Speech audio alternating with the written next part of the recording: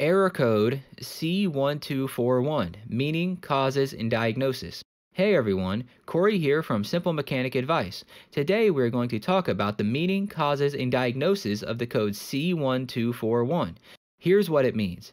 The C1241 is a malfunction in the ABS indicating a low power supply voltage malfunction. This means that your car's power supply voltage is lower than normal.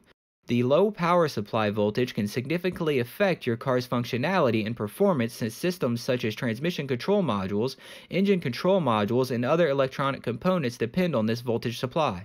Here's what causes it. Some of the common causes of fault code C1241 include faulty alternator. The friction of the internal parts of the alternator significantly contribute to alternator failures as they are involved in high-speed rotation. Due to long-term use, the alternator components may wear and tear resulting in faults in the alternator. A weak or failing battery.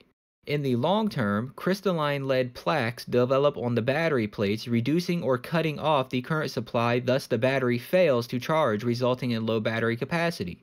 Low battery capacity fails to provide sufficient voltage supply to the electrical components, hence the code C1241. Corroded battery terminals. Corrosion results in a poor connection between the alternator and the engine since it chips away the connection points reducing the voltage supply. Wiring issues or short circuit. Car batteries that leak acid or the contact between an exposed wire and a metal tool in the car are often some of the causes of short circuits. Faulty voltage regulator.